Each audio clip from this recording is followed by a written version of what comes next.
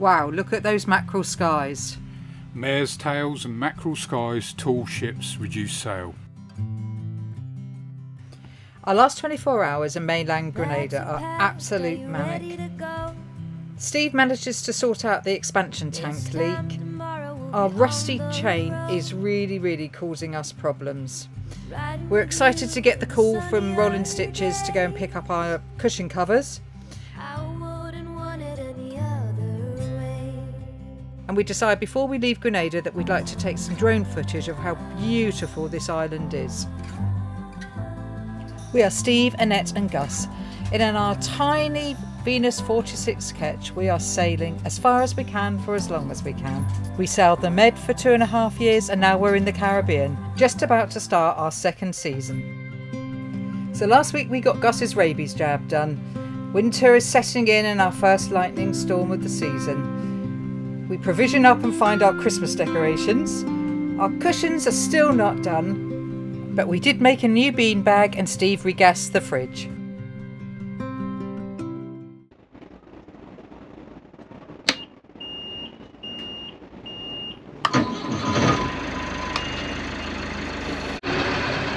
It's Saturday tomorrow, buy a penny gun, get behind a policeman and shoot him up the bum. Yeah, I'm idle. Anyway, I'm going to get told off in a minute if I don't concentrate. All we seem to have done for the last couple of weeks is go backwards and forwards between here and Woburn Bay, which is the very southern end of Grenada. We're in uh, Grand Mal at the moment. But this is our last trip now. We're on our way back down. Be, be, picking up, it's Saturday's day, be picking up all of our cushions on Monday. And then we're heading back round to here, one quick shop, and to pick up my migraine tablets. And then we're off up to Carriacou. And that'll be our last few days now in Grenada. But looking forward to the next season.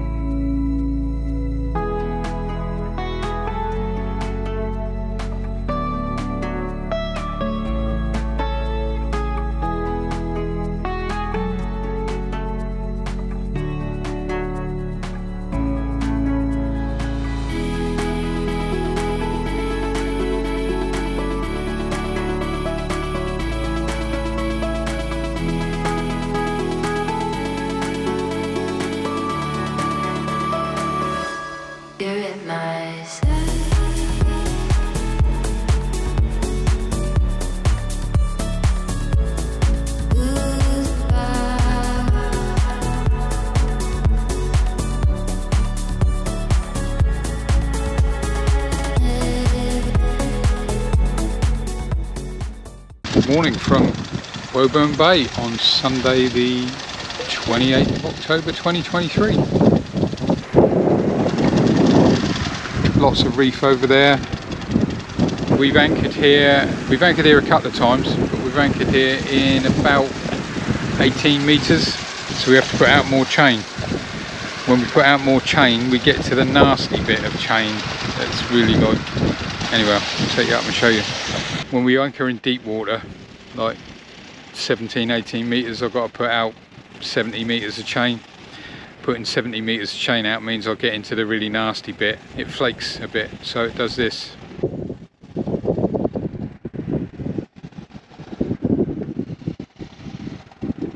Not very good.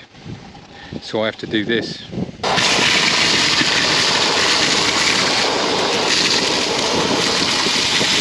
Crack my chain a bit at a time in the hoover or vacuum. I think the chain's still plenty strong enough, it's just like the outside one millimeter that flakes off. And rust when it forms it kind of expands anyway. So it's not like one meter of solid metal. It's one meter of that's what I tell myself anyway. That's better. Hi welcome back to stiflingly hot Grenada. Again um, I've got my Perkins pants on. Mr. Perkinson has decided to, having all the engine problems that we've got over, has decided to have a fresh water leak from that little bit down in there. So that's the expansion tank, and which is the fresh water side of the cooling system for the engine.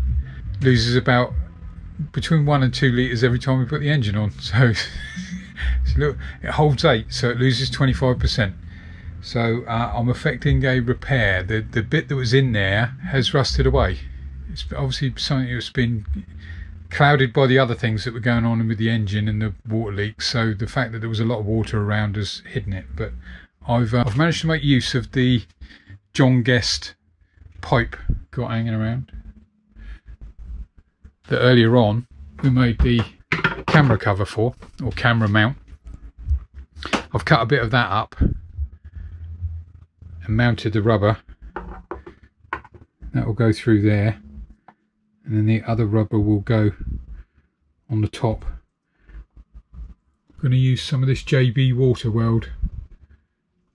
And then as a belt and braces I'm going to throw some of that polyurethane glass sealant on top of it as a complete budget up but can't get hold of another another expansion tank funnily enough Perkins changed the design for the next model up they made it metal not this plastic with a funny seam on it. So anyway, I'll show you when it's done.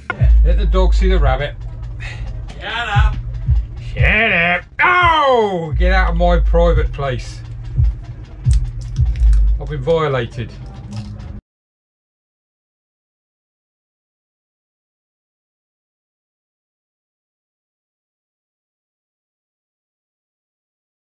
So the expansion tank's all done. Uh, we did a short run round from Prickly Bay to Grand Mal, so about five or six miles. Got the engine up to temperature. Um, we've let it cool down. I'll go in and see whether the repair was a success. Not the prettiest repair, and I had to use when in there. It rusted badly. I found another one that would do, but managed to drop that in the bilge, and it's stainless steel, and I can't get it back out at the moment that's where the water was coming out of around that stud.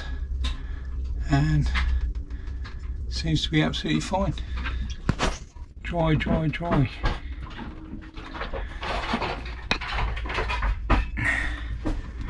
So we call that one a success. Another success was regassing the freezer. We bought the uh, bought the gauges. I watched a few YouTube videos on how to we do it. We didn't, you did uh, particularly um, Emily and Clark or Emily and Clark's Adventure. Um, watch theirs, very clever guy, and uh, his was really easy to follow, easy to understand, and I basically did what he did. And it's jumping around a bit maybe on the camera, but it's sitting at minus 14. Hadn't got a lot of stuff in it, but it's frozen and we're really happy. We're on the other side of Hog Island. Uh, Steve's going to see if he can get his drone out. We are over there. It's not very sunny today, very overcast, but it's still mighty warm. That's our dinghy over there. We were going to let Gus have a run round on the beach, but unfortunately, as we turned up, I'd say about 50 other people turned up for a big barbecue. There we've left them to it and moved up the hill. That island over there is Calivigny Island. It's a private island uh, and I did say, I think we said before that there's a beautiful, beautiful kind of Asian looking hotel on there and it's a bargain because it's $132,000 a night more than our boat cost. Gus is in there. you can't see I oh, even I can't see him. Oh, I can just see the tip of his tail. Oh, there is. yeah. Where did, where did you go? He's jumping like a rabbit.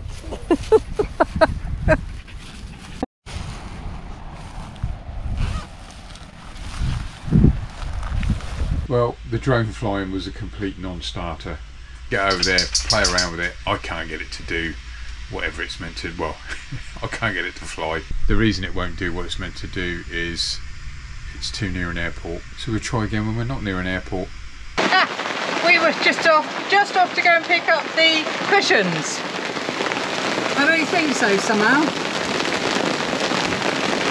Hopefully it's just kind of 10 minutes and then it'll be gone.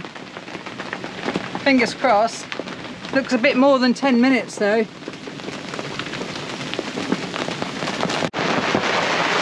This is either winter coming or it's something to do with the hurricane which is on the other side of wow I don't know if they're going to be able to hear me. Whoa! It's that could be the hurricane which is on the other side of the Caribbean at the moment kind of towards Mexico. Very lucky today because Steve's had half a shave. Haven't you? Half a shave is better than no shave. half a job again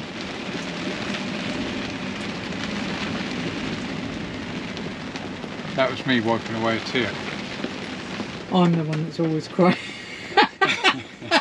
I'm the one that's always crying Yeah, crying with laughter. take two. We'll try again. We've got to go a little bit further this time. Look, look how much rain there was in that short time. Off of the bean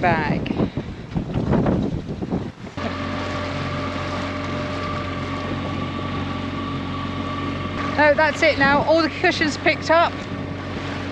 Really pleased and we'll do a great unveiling of it. I'm quite excited because we've had the same old skanky cushions for so long. And uh, yeah, it make it look very, very different. So that's it, all the job's done. Well, apart from the windows and the hatches have got to be redone because they're still leaking. Um, other than that, we're ready. We're finished with Grenada and we're on our way to Carriacou. Join us next week for a fabulous sail up to Carriacou and we finally check out of Grenada and start heading towards Martinique. Thanks for watching everybody. Don't forget guys, if you've enjoyed the episode, leave us a comment and give us a like. A massive thank you to our Ko-Fi and Patreon supporters. We really appreciate your support. Cheers guys and have a good week.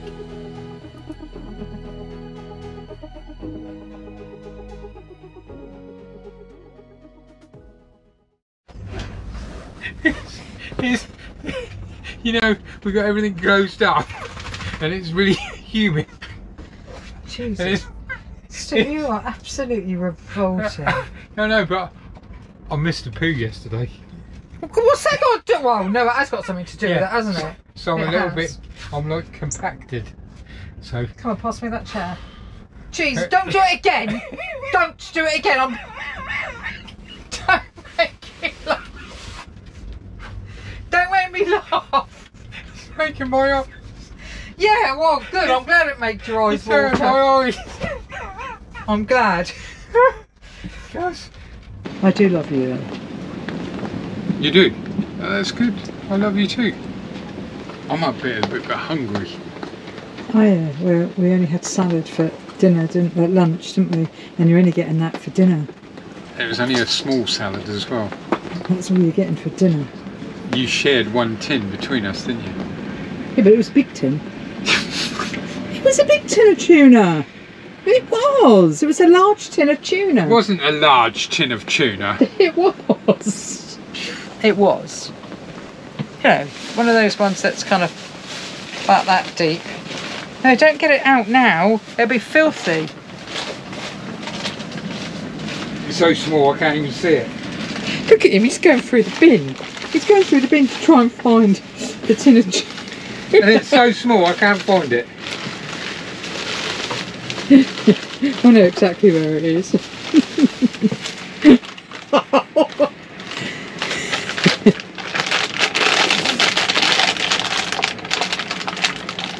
right, that's a decent sized tin of tuna for both of us. It's bigger than I thought, but it doesn't go, feel it so- now. Doesn't feel it now, no. The old stomachotron is telling me Okay, so